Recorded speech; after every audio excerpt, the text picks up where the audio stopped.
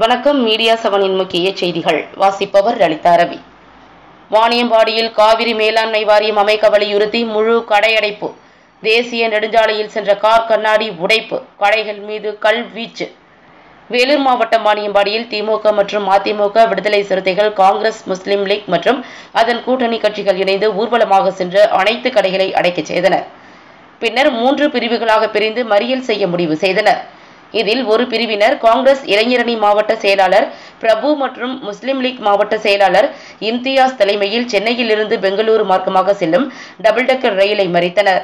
இதனை அறிந்த தாலுகா போலீசார் மற்றும் ரயில்வே போலீசார் மறியலில் ஈடுபட்டவர்கள் சுமார் நூற்றுக்கும் மேற்பட்டோரை கைது செய்து தனியார் மண்டபத்தில் சிறை வைத்தனர். இதனால் ரயில் பத்து நிமிடம் தாமதமாக புறப்பட்டு சென்றது.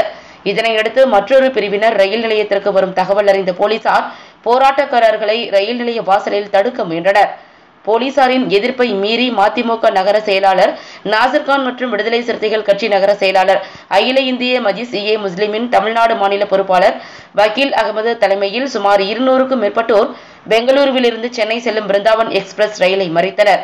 பின்னர் திமுக நகர பொறுப்பாளர் சாரதிகுமார் தலைமையில் சுமார் இருநூறுக்கும் மேற்பட்டோர் திரண்டு வாணியம்பாடி பெருமாள்பேட்டை என்ற பகுதியில் சென்னை பெங்களூர் தேசிய நெடுஞ்சாலைகளில் இரண்டு புறமும் வாகனங்கள் செல்ல விடாமல் சாலையில் அமர்ந்து மறியலில் ஈடுபட்டனர்.